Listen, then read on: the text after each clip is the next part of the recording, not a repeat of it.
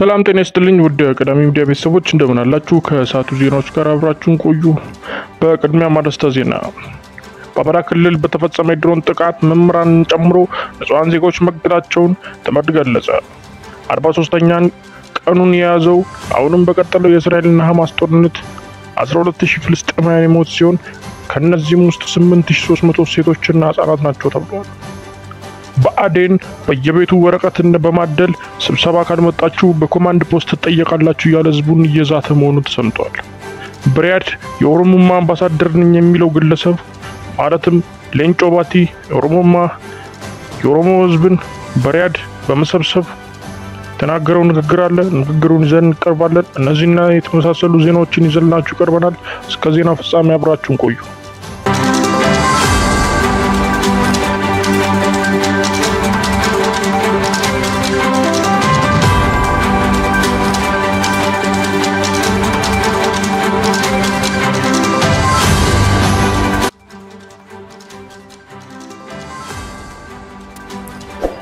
በአማራ ክልል በተፈጸመ የድሮን ጥቃት መምህራንን ጨምሮ ንጹሐን ዜጎች መገደላቸው ተመድ ገለጸ። ዋና መቀመጫውን ስዊዘርላንድ ጄኔቭ ያደረገው የተመድ ሰብአዊ መብት ቢሮ ባወጣው መግለጫ በአማራ ክልል እየተካሄደ ያለው ጦርነት እንዳሳሰበው አስታውቋል። ቢሮው በመግለጫው በአማራ ክልል መንግስት የጸጥታ ኃይሎችና በፋኖ ታጣቂዎች መካከል እየተደረገ ባለው ጦርነት ምክንያት ንጹሐን ዜጎች የከፋ ጉዳት እያስተናገዱ መሆኑን ታውቋል። በአማራና ሌሎች ክልሎች ጅምላ እስርና የሰብአዊ መብት ጥሰት ወንጀሎች የተፈጸሙ ነው ያለው ቢሮው ጉዳዩን እንዳሳሰበው ገልጿል። በአማራ ክልል በፈረንጆች ጥቅምት 27 ቀን 2016 ዓ.ም ወደረ ወረዳ ባለ አንደኛ ትምህርት ቤት ላይ የአገር መከላከያ ሰራዊት በፈጸመው የድሮን ጥቃት ሶስት መምህራንን ጨምሮ ሰባት ሰዎች መገደላቸውን ተመድ ገልጿል። እንዲሁም ጥቅምት 29 ቀን 2016 ዓ.ም በምዕራብ ጎጃም ዋብር መናኸሪያ ትራንስፖርት እየጠበቁ በነበሩ ንጹሐን ላይ በፈጸመው ተመሳሳይ የድሮን ጥቃት 13 ንጹሐን ዜጎች እንደተገደሉም ቢሮ በሪፖርቱ ላይ ጠቅሷል።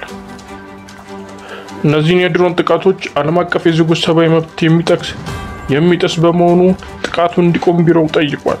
በማዕከላዊ ጎንደር ጨዋሂት ከተማ የመንግስት የጸጥታ ኃይሎች በመኖሪያ ቤቶች ላይ ባደረጉት ጥቃት ስድስት ንጹሐን ዜጎች ሲገደሉ 14 ሰዎች ደግሞ እንደቆሰሉ ተገልጿል። የፋኖ ታጣቂዎችም በደቡብ ጎንደር አለም በር ባደረሱት ተመሳሳይ ጥቃት የመንግስት አመራሮችን ጨምሮ 21 ሰዎችን እንደገደሉም የተመድ ሰብአዊ መብት ጥበቃ ቢሮ አስታውቋል።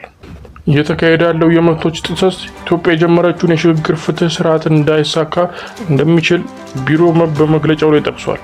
የሰብአዊ መብት ቢሮ አክሎም ሁሉም ተፋላሚ ወገኖች ንጹሐንን ከማንኛውም አደጋ የመጠበቅ ኃላፊነታቸውን እንዲወጡ ጥሪ አቅርበዋል። የኢትዮጵያ ሰብአዊ መብት ኮሚሽን ከሁለት ሳምንት በፊት በክልሉ የተፈጸሙ ስላሉ የሰብአዊ መብት ጥሰቶች ተመሳሳይ ሪፖርት ያወጣ ቢሆንም መንግስት የኢሰማኮ ሪፖርት ውድቅ ማድረጉን ይታወሳል። የኢትዮጵያ ሰብአዊ መብቶች ኮሚሽን ከዚህ ቀደም ባወጣው ሪፖርቱ በአማራ ክልል በአንዳንድ አካባቢዎች በከባድ መሳሪያና አልፎ አልፎ በአየር ድሮን ድብደባ ጭምር እየታገዘ ነው ያለው ሲሆን በሲቪል ሰዎች ላይ ሞትና የአካል ጉዳት ማድረሱን አመላክቷል። ኢትዮጵያ መንግስት በዚህ ዙሪያ በሰጠው ምላሽ የኢሰማኮ ሪፖርት የመንግስትን እንቅስቃሴ አውድ ከግምት ያላስገባ በበቂ መረጃ ላይ ያልተመሰረተና ከእውነታው ያፈነገጠ መሆኑን መግለጹ አይዘነጋም። መንግስት በአማራ ክልል ያለውን የጸጥታ ችግር ለመፍታት እና ዜጎች በህይወት የመኖር መብት ለማረጋገጥ ጥንቃቄ የተሞላባቸው እርምጃዎች እየወሰደ መሆኑን አረጋግጧል። የመንግስት አክሎ የአማራ ክልል ወደ ሰላማዊ ሁኔታ እየተመለሰ መሆኑና በክልሉ በታወጀው የአስቸኳይ ጊዜ አዋጅ ህገ መንግስታዊ ስርዓቱን መታደግ እንደተቻለ ገልጿል።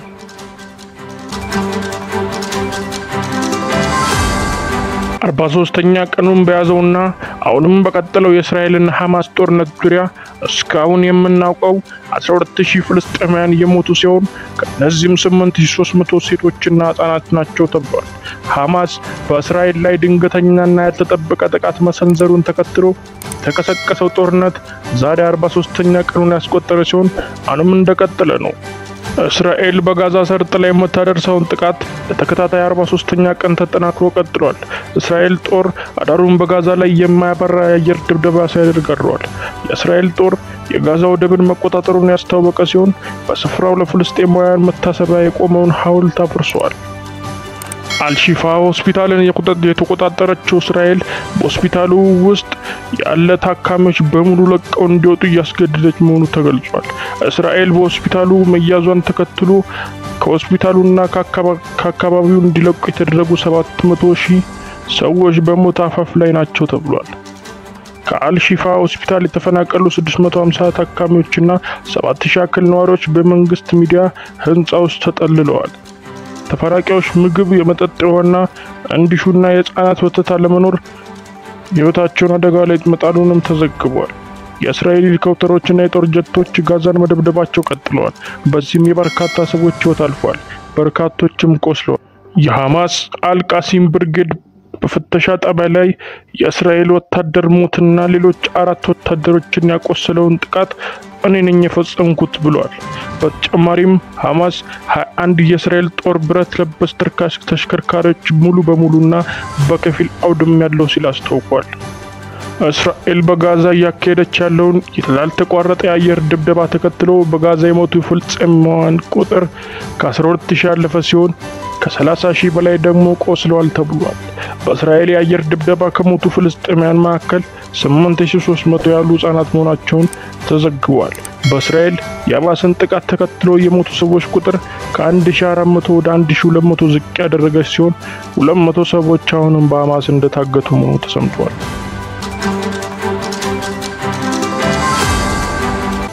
ጥብቅ መረጃ በአዴን በየቤቱ ወረቀት በማደል ስብሰባ ካልመጣችሁ በኮማንድ ፖስት ትጠየቃላችሁ እያለ ህዝቡ ላይ እየዛተ መሆኑ ተሰምቷል። ይህንንም አስመልክቶ ፋኖ የብአዴን አመራሮች ላይ የሚወስደውን እርምጃ አጠናክሬ እቀጥላለሁ ሲል ተነግሯል።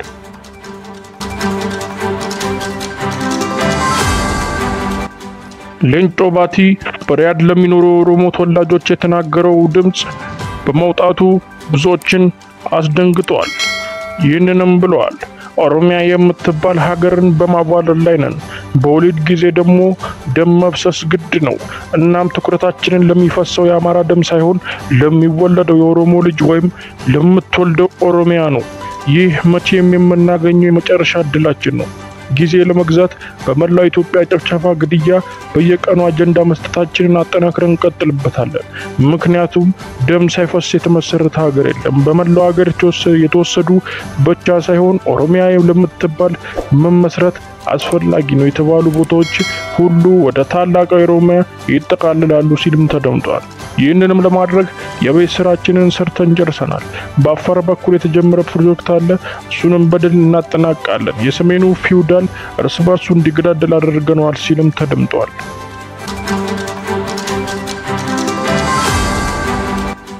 ባሶሊበን በምትባል በጎጃም ዙሪያ እየተካሄደ ያለው ጦርነት ምን ይመስላል? የፋሽስቱ ኃይል ወደ ባሶሊበን ወረዳ የጁቤል ወረዳ በመግባቱ የጁቤ ጦርነት ተጀምሯል።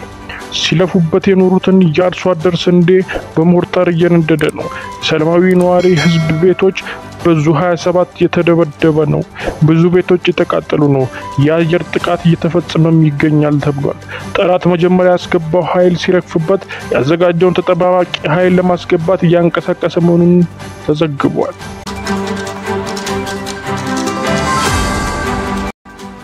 በጎንደር ወረታ በፋሽስቱ ተቀላቢ ካድሬዎች ጎንደር ወረታ ላይ ስብሰባ በሚያደርጉበት ወቅት የፋኖ ኃይል ሰብሮ በመግባት ስብሰባውን እንዲበተር ማድረጉን አሁን የደረሰ መረጃ ያሳያል።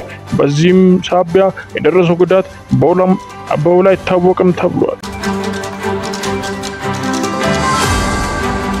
ውድ የቀዳሚ ሚዲያ ቤተሰቦች ለሰዓቱ ያዝናቸው ዜናዎች በዚህ ተጠናቀዋል። እስከ ዜናው ፍጻሜ አብራችሁን ስለቆያችሁ እናመሰግናለን። ይህ ሚዲያ አዲስ እንደመሆኑ መጠን ሁላችሁም የዚህ ሚዲያ ቤተሰብ ለመሆን subscribe ምትለዋን button መጫናችሁን እንዳትረሱ። እንዲሁም ቶሎ ቶሎ ፈጣንና ትኩስ መረጃዎች እንዲደርሱ የደወሉ መጫን እንዳይረሱ። ስላዳመጣችሁ እናመሰግናለን። ተመልሰን እስከምንገናኝ ሰላም ሁኑ።